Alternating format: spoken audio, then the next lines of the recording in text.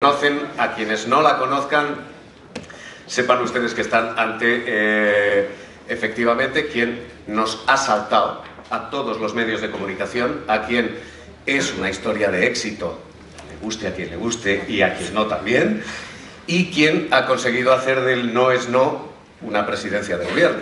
Esta es la historia de Maricha Ruiz Mateos. Maricha Ruiz Mateos es la directora de comunicación del Partido Socialista. Para quienes estamos al otro lado, para quienes estamos en el periodismo, lo que decimos es que es el enemigo. Esta es Maricha Ruiz Mateos.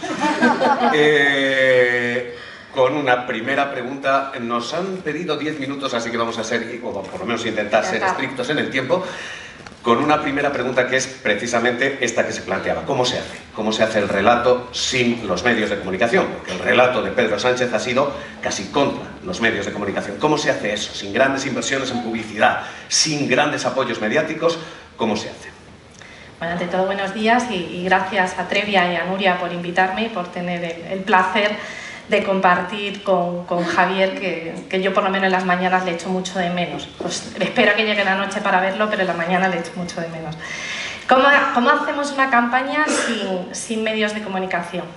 Lo primero hay que contextualizar que el 1 de octubre, que hace tres días ha hecho dos años, se nos cierran todas las puertas de los medios de comunicación.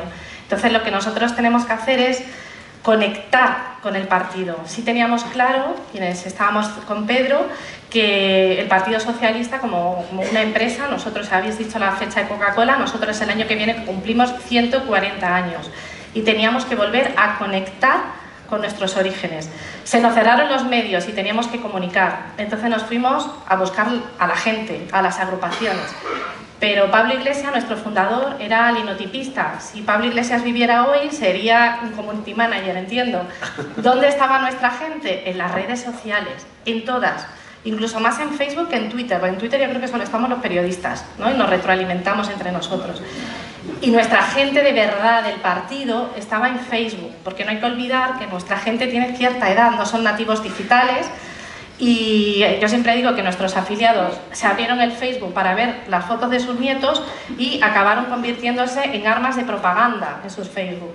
Entonces, ese sentimiento, cuando se cerraron las agrupaciones y se cerraron los medios, ellos los canalizaron en, en las redes sociales, nosotros les escuchamos en las redes y fuimos a por ellos a través de ese mismo medio.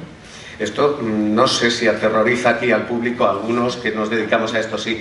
Eh, ¿Creéis que son prescindibles los medios de comunicación? Depende.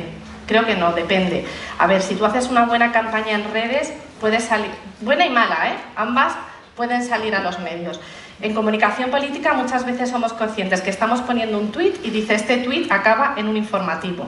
¿vale? Cuando el líder contesta algo en un tuit.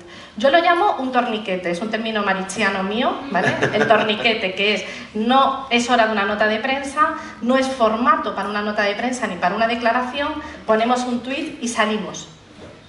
¿De acuerdo? Entonces eso sí luego se hacen eco los medios de comunicación no son prescindibles ni muchísimo, medio, ni muchísimo menos perdón, los medios, pero hay que saber qué parte puede ir a las redes y qué parte va a los medios, o qué canal utilizamos para los dos, si en medios el mensaje, qué lenguaje voy a utilizar para salir solo en redes o en medios de comunicación. Permíteme preguntártelo de otra manera. ¿Somos sorteables los medios de comunicación? ¿Las redes sociales os permiten colar mensajes ya sin que los periodistas tengan capacidad de repregunta, sin que la audiencia tenga capacidad de crítica? ¿Somos sorteables? ¿Las redes sociales os permiten un mensaje unilateral solo? Sí, yo, no, yo no diría sorteables, sino compartimos como emisores, ¿no? No creo que, que sea sortearos, sino poneros al mismo nivel como emisores todos, incluso el usuario de la red, no solo el partido político, y llegar a la gente sin filtros en ese caso. Hay un problema.